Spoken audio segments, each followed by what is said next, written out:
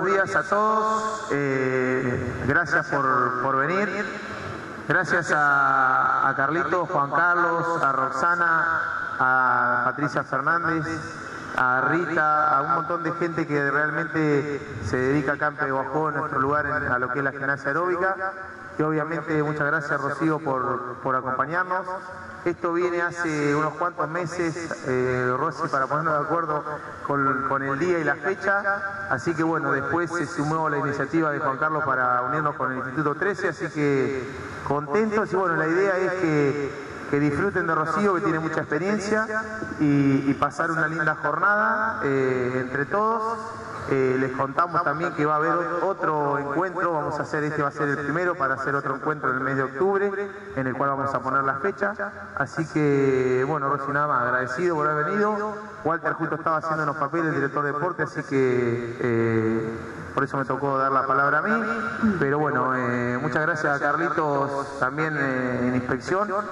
Desde mi parte estoy muy contento de habernos unidos, de unirnos eh, en estas clínicas, unirnos entre todos, en lo que Instituto, CEF, eh, los inspectores, Rosy y la Dirección de Deporte, la eh, me pone muy contento y los profes también, bueno Alejandra también que se, arrimó, hay muchos profes que se han arrimado, Matías, por ahí el Pato y Ramón que andaba por ahí, la verdad que gracias y bueno, darle comienzo a, a la clínica, gracias Rosy. Bueno, buen día a todos. Yo soy Rocío Carretero, soy de acá de Pehuajó y soy profesora de educación física. Me recibí en el 2002 en la Universidad de La Plata.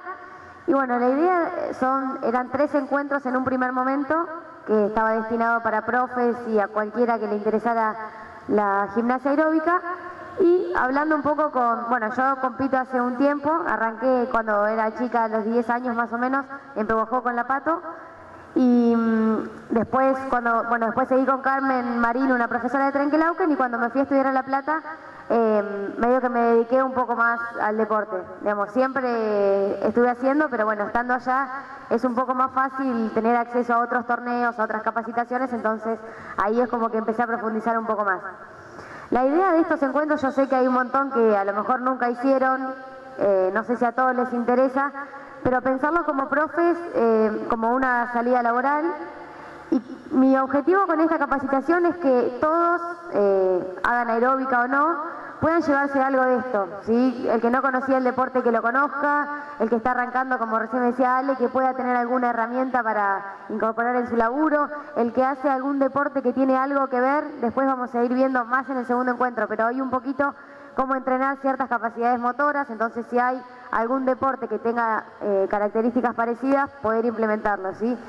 Eh, quiero que cualquier cosa que no entiendan, que yo vaya rápido o lo que sea, me vayan preguntando y lo vayamos haciendo entre todos a partir también un poco de las inquietudes que ustedes tienen de esto, ¿sí? Yo les voy a ir contando más o menos del deporte, en qué consiste, pero bueno, también quiero que interactuemos y que ustedes me vayan diciendo qué cosas quieren saber. Yo actualmente estoy en La Plata, estoy trabajando allá, tengo, doy aeróbica infantil, tanto recreativa como deportiva, así que tengo nenas de 5 años hasta los 13 años, estoy dando clases allá. Y además de eso estoy entrenando, así que también sigo en contacto con el deporte, estoy compitiendo. Y el año pasado entré en lo que es la selección de gimnasia, así que eh, es un deporte que lleva muchos, muchos días y mucho horario de entrenamiento y mucha dedicación. A lo mejor hay otros deportes que uno puede dejar de entrenar un tiempo y volver, pero hay otros que es muy complicado. Uno deja de entrenar una semana y a la semana siguiente es terrible volver a empezar. Así que bueno, yo soy una apasionada de lo que hago, me encanta y lo disfruto un montón.